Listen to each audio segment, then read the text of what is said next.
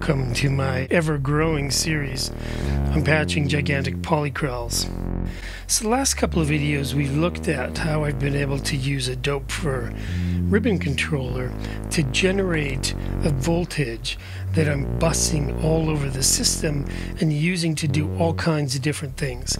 We can see that voltage in the Doepfer A197 analog meter. And as that voltage increases, the rate of our five Krell function generators, that is really the meat and bones of the whole patch, will increase. And some other things will happen as well. So now we're listening to the bass part and the um, the bass part isn't on the scope. The scope is showing as our counterpart and our melody. First, we're going to listen to the bass part on its own, and then we'll bring in the melody to have a listen to what it's doing. But as you may recall, the bass is unique in that it uses a little Doepfer A142 voltage-controlled decay gate, which is essentially just like a voltage-controlled fall stage. And what it does is it uses that voltage controllable dropping gate to choose when it has an open gate that lets it update its note pitch or the sample and hold that it grabs its notes from from the same quantizer that the melody gets its notes from. So, depending on how long that decay lasts, that determines how long the bottom LED, the gate, stays open.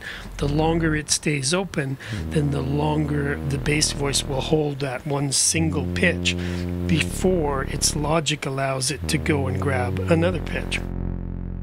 So when I started patching in a rate change using my Doepfer ribbon, one of the things that I needed to do was to change the way that this whole little sub patch is timed so that I get the kind of behavior that I want from the bass voice. So what I've ended up doing, and I'm just going to drop the voltage now, so you can see it dropping in the VU. Now we've got to the key change. So we're all the way down to about a couple, about a single volt, just over a single volt. And that puts us into our first scale, but it also really slows down all of our Krell functions, including the bass. The bass gets its Krell function from Quadrax channel 1 so it's slowing down along with everything else. But you'll see that when it's running slow, I'm using an incoming inverted voltage, and it's that same voltage that's bussed around the system from our Doepfer ribbon controller. I'm using it to lengthen the decay. And then as I bring that voltage ribbon voltage um, controller ribbon voltage up, the key will change, the bass voice Krell will start to speed up, and we can see from this top LED that this decay in our decay gate gets shorter. And when it gets shorter, the gate that's open gets shorter, allowing the bass to update its pitches more often. And at the same time that's happening, we've also seen that the voltage, the triangle, uh, triangle voltage, that is patched to our LFO, or rather the triangle voltage that's patched to our U-scale quantizer is also speeding up. So that means that the bass now can choose different notes more often. Now as I continue to increase my voltage over 5 volts, I'll get to another key change. So now I'm in the top scale that I've got set up. And we can see that the bass is now grabbing notes a lot quicker. And I've tinkered with this quite a bit, and I'll continue to tinker with it, making slight adjustments so that over the range of the Doepfer ribbon, I'm getting the kind of behavior that I want. So what I really wanted is that as the voltage rises and the whole piece of music gets brighter and faster, I want the bass to be grabbing more notes. And then as it slows down, and I'll slow it down now.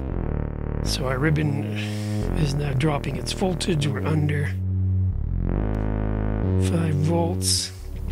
So we've changed keys. And then we'll start to see this top LED will last longer, prohibiting the bass from grabbing another note. And now we get to our next key change. So now we're in the bottom scale and the krells are moving not quite as slow as they'll go, but pretty slow. So now I'm going to bring in the melody part and we'll hear the melody interacting with the bass.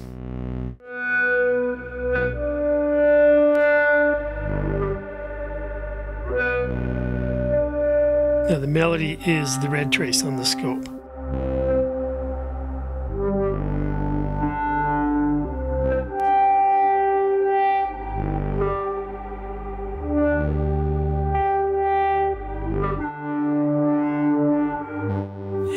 Push it all the way down.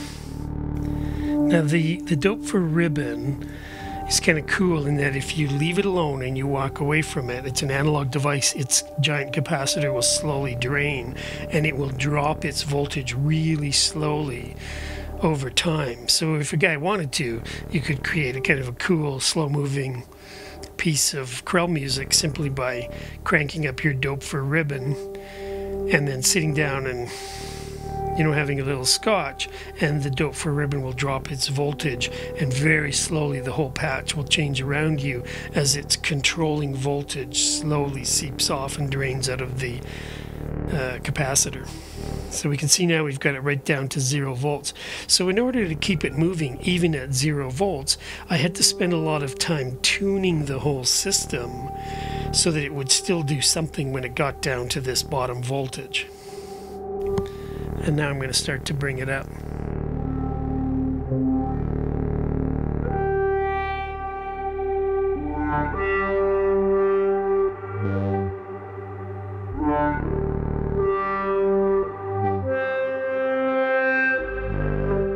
So we can hear that the bass kind of chases the melody pitches around, like it'll eventually catch up to where the melody was at once that gate is released, and then the next time it opens, it grabs a new note from its own sample and hold.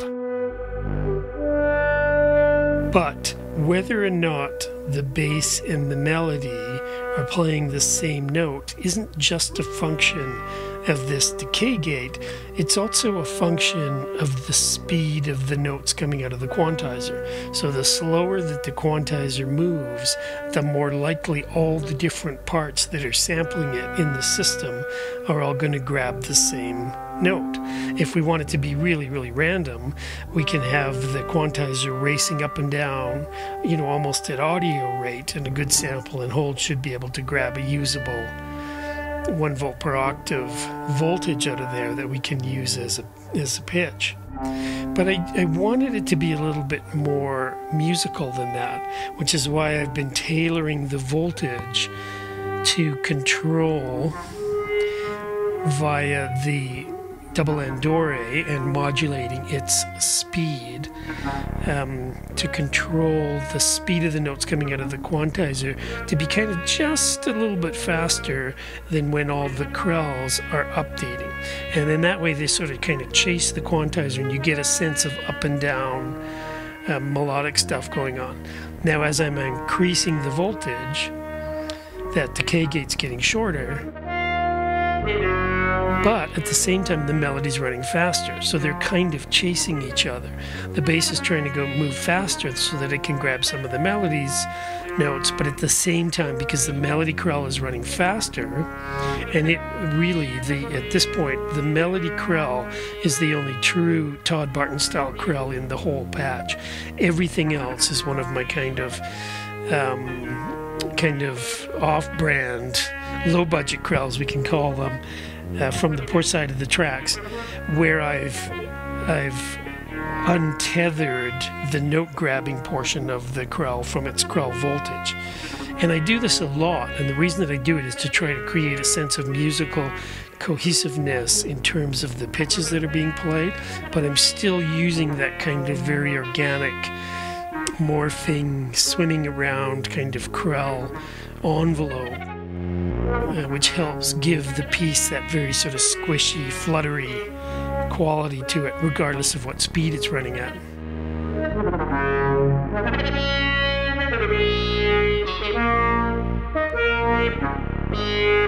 Now I'm going to push up our voltage past 5 volts. We get through another key change.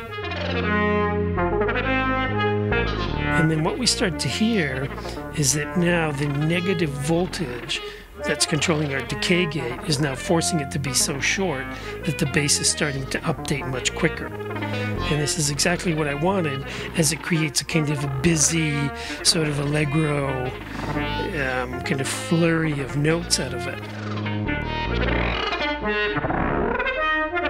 So, really, what I'm hoping that um, watchers will get out of this work that we've been doing is it isn't so much what it is we can get the modular synth to do. At any given point, we can get it to do all kinds of wild and crazy things, but it's about how we control those to create subtle changes over time so that it becomes musically useful. And this is where we have to be really careful and use our ears. As we'll see headed into the next few videos, there's a lot of parts going on and there's a lot of polyphony in this patch. And if we're not careful about how we mix it, it is total and complete um, madness. And that may be what we want. That's really, really great to be able to get there but it's also good to be able to tame it and gain some control over how much is going on at one time.